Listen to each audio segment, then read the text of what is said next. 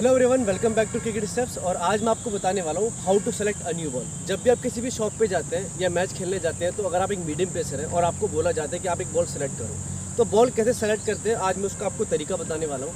बताने वाला हूँ कि किन बॉल को आपको चूज़ करना चाहिए, किन बॉल को आपको नहीं चूज़ करना चाहिए। इससे क्या फ़ायदा होगा कि अगर आप अच्छा बॉल चूज़ करेंगे तो आपके बॉलिंग के लिए बहुत ज़्यादा बेनिफिशियल होगा। और इसके साथ साथ ही अगर आपके माइंड के अंदर क्रिकेट से जुड़ा हुआ कोई भी डाउट है, कोई भी सवाल है, जो आपको लगातार परेशान कर रहा है तो आप हमारे व्हाट्सएप ग्रुप को ज्वाइन कर सकते हैं, जिसका लिंक हमारे डिस्क्रिप्शन में अवेलेबल है। वहाँ पर जाके ज्वाइन करें और अपने सारे क्वेश्चन के आंसर ज़रूर पाएँ।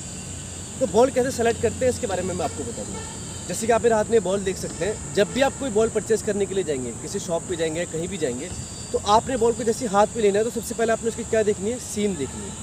और सीम कैसा होना चाहिए? थोड़ा उभरा हुआ होना चाहिए सीम जैसे कि आप देख सकते हैं इस बॉल का जो सीम है उभरा हुआ ठीक है? जो सीम होता है, वो अंदर की तरफ़ दबा हुआ नहीं होना चाहिए, थोड़ा सा उठा हुआ होना चाहिए, देख सकते हैं आप। जो सीम में थोड़ा सा ऊपर की तरफ़ उठा हुआ है, ठीक है?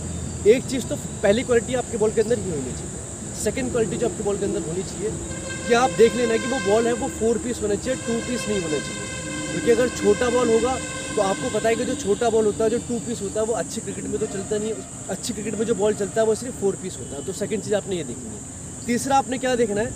जब भी आप बॉल को पकड़ेंगे तो आप ध्यान रखना कि आप बॉल को कुछ इस तरह से बैक स्पिन करके देखें। ये अगर बॉल अच्छी तरीके से बैक स्पिन हो रहा है, उसमें कई बॉल में क्या होता है कि वेट ज़्यादा होता है, कई बार इस साइड ज़्यादा होगा, कई बार इस साइड ज़्यादा होगा।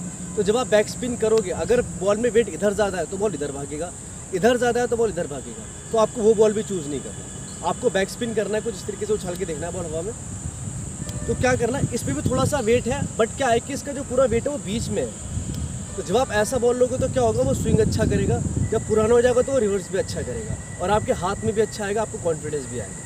इसलिए सीम जो अपराइट होनी चाहिए।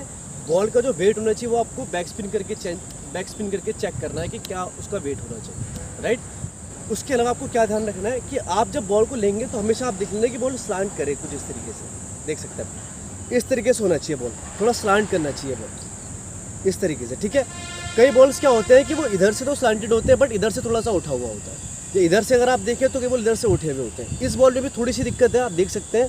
ये वाला जो एरिया अगर आप देखें ये वाला जो एरिया है तो ये थोड़ा सा उठा हुआ है, ये थोड़ा सा और इधर से भी स्लांटेड होना चाहिए था। और जो सीम है वो और इससे बेटर हो सकता था। तो इस तरीके के बॉल आपने चूज़ करना है। इधर से बॉल है, इधर से बॉल उभरा हुआ नहीं होना चाहिए।